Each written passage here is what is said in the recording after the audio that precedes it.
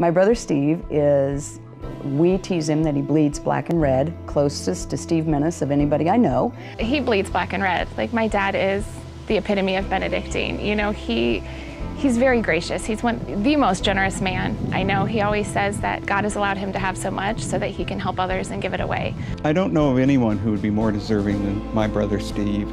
He is committed to Benedictine. He's committed not only to Benedictine, but he also commits his classmates to Benedictine and he builds a, a spirit, the Benedictine spirit. He is so kind, loving, generous, caring, and just includes me in everything, whether I want to be included or not.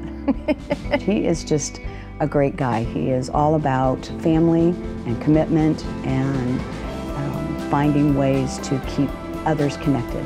Steve is, he's very genuine and his easygoing nature just makes him so approachable.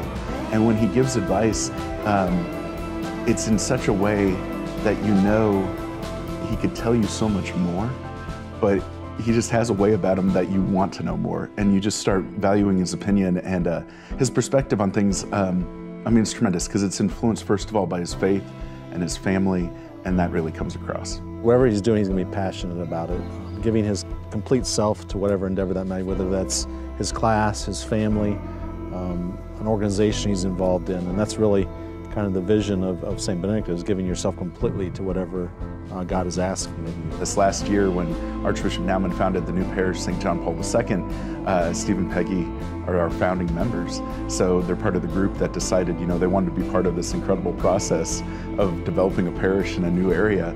And uh, they've been invaluable. You know, Steve is one I can count on for great consultation. He has tremendous experience in the church.